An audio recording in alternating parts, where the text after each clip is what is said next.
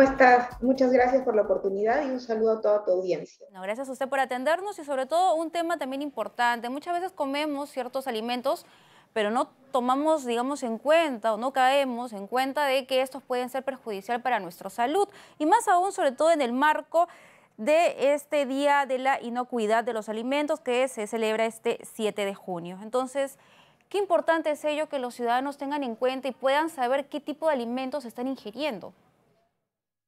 Sí, eh, bueno, nosotros, eh, inocuidad alimentaria, hemos visto por conveniente justamente realizar una jornada educativa de siete días, en las cuales pues vamos a abordar todos estos temas que usted menciona en relación a la educación para la salud a la población.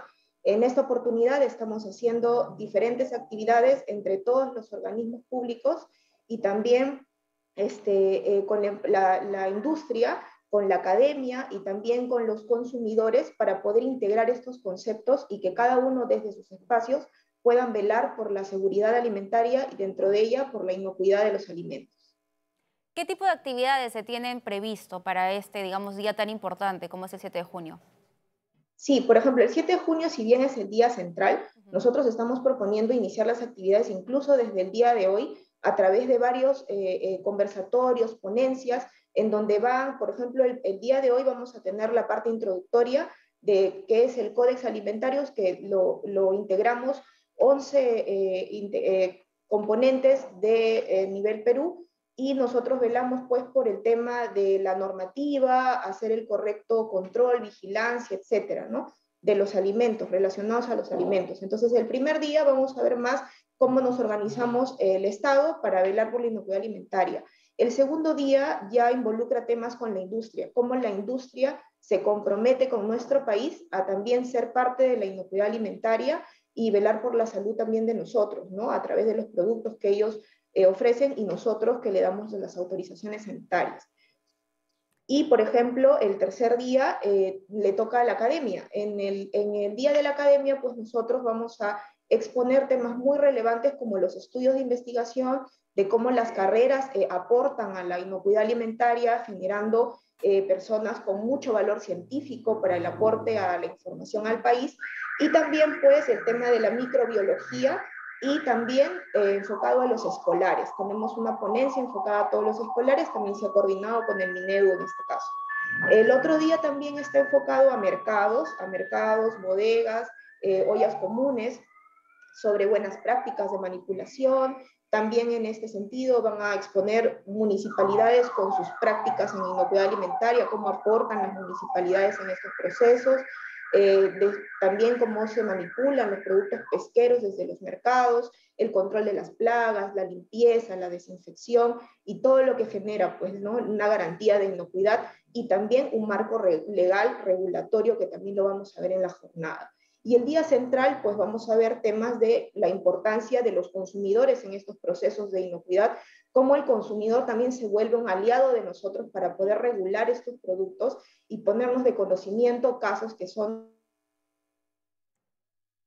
el control y la fiscalización. Y a propósito de eso, para, para, poder este, enfatizar, porque también eh, ustedes han puesto un comunicado y es alarmante, ¿no? Donde habla que cerca de 200 tipos de diferentes enfermedades son transmitidas por los alimentos. ¿Qué clase de enfermedades son estas? Sí, puede ser brucelosis, puede ser causadas por estafilococos, pueden ser intoxicaciones. Justo tenemos una ponencia que habla de estas enfermedades transmitidas por alimentos eh, si nosotros no vemos adecuadamente eh, los productos con su registro sanitario, por ejemplo, acá yo tengo un ejemplo de, un producto, no sé si se puede ver. Eh, ahí. ahí. Bueno, creo que no se ve muy bien por la pantalla. Ahí. Un registro sanitario, bueno, ahí está. Bueno, yo tenía aquí un ejemplo de un producto, una maqueta en realidad, de cómo nosotros podemos verificar que el registro sanitario sea el adecuado. Ese código que debe estar en el producto que se compra, nosotros tenemos en nuestra página web un buscador en donde la población en general puede eh, copiar este código, ponerlo en el buscador y ver si la empresa existe, si está autorizada, si todavía tiene su registro vigente, etcétera, ¿no? Esa es la manera en la que también la población puede, puede este, hacer una fiscalización activa junto a nosotros. Y acerca del lavado correcto de tanto frutas y verduras como la correcta cocción de las mismas, incluso de las carnes y dónde compran las carnes también, eso también es un tema que se va a discutir en esas actividades. Claro que sí, la Dirección de Promoción de Salud del Ministerio de Salud también va a hacer ponencias acerca de estos cuidados preventivos, ¿no? La manipulación de los alimentos, cómo guardarlos en casa, porque la cadena de la inocuidad, pues es desde que se produce el alimento hasta que también tenemos adecuada manipulación de ellos en casa, ¿no? El lavado de manos, cómo los guardamos, cómo los manipulamos, etcétera, sí. Todo, toda, hemos tratado de integrar todos los componentes que van en la cadena de la inocuidad. Y por ahí también me gustaría para que la gente que nos está viendo les quede ya también como un tipo de recomendación, ¿no?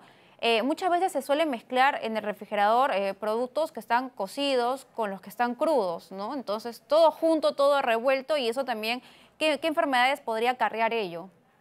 Sí, eso también produce intoxicaciones. esto se llama eh, una transmisión cruzada, ¿no? Entre alimentos. Entonces, tenemos que saber guardar los alimentos en la refrigeradora, en recipientes apartados ambos, también la refrigeradora tiene sus niveles, ¿no? En cada nivel se tiene que procurar poner el alimento de forma adecuada porque cada uno requiere temperaturas diferentes. Y también tiene un proceso, eh, un tiempo de vida. Hay, hay mecanismos por los cuales uno puede, por ejemplo, los puede hervir, los puede secar y estos eh, eh, duran más, ¿no? En el almacenamiento, a diferencia de alimentos frescos, ¿no? Entonces, todo esto son conceptos que poco a poco, mediante la educación para la salud, la población tiene que ir eh, asumiendo su, rol importante, ¿no? Porque muchas veces en casa tenemos estos productos y los consume toda la familia, ¿no? Y al final no sabemos que estamos haciendo un mal uso de los alimentos. Y también la desinfección de los mismos, ¿no? Con productos que uno puede conseguir y que son económicos. Por ejemplo, la desinfección de las frutas y las verduras. ¿En cuánto, digamos, debería ponerlo en un recipiente de agua? ¿Qué le puedo agregar? ¿Cloro, lejía? Si nos puede explicar ello. Sí, sí, son unas gotitas de cloro, se le puede echar unas cinco gotitas de cloro en el agua y con eso se lava. No es necesario dejarlo remojando, simplemente hacer un lavado, eh, restregar un poquito y dejar secar, ¿no? Y también cada verdura se, lava en su grupo, ¿no? Si voy a lavar, eh, no sé, este, lechuga, eh, esa agua luego la desecho, si voy a lavar otra verdura u otra fruta, Todo eso vamos a ir aprendiendo. El día central, que es el 7 de junio, sí va a ser presencial porque del primero al 6 es virtual y el día 7 de junio va a ser en la plaza de Lince, frente a la municipalidad, y ahí vamos a tener toda una jornada con de más o menos 12 a 15 stands, eh, en donde vamos a exponer todo lo que también se ha venido dando durante la jornada. Les invitamos para que también puedan participar ese día y nos puedan acompañar. Muy bien, muchísimas gracias. Entonces la invitación está hecha, la invitación con nuestra salud. Ha sido con nosotros la doctora María Cristina Márquez, jefa de la Dirección General de Salud Ambiental e Inocuidad Alimentaria de El MINSA. Momento de despedirnos, nos reencontramos el día de mañana con más información.